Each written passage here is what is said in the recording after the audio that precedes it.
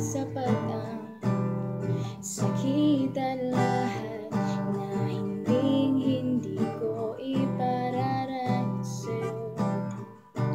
Ibinubunyag ka ng iyong mata.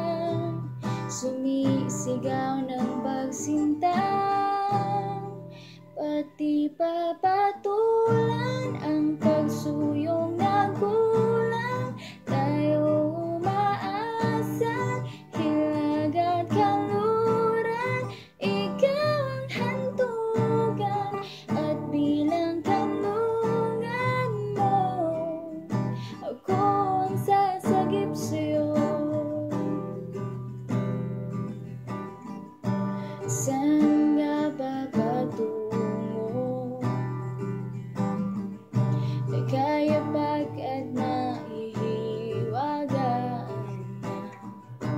Ang bagyo ng tadhana ay Dinadala ako. Sa init ng bisig mo Pati pa sabi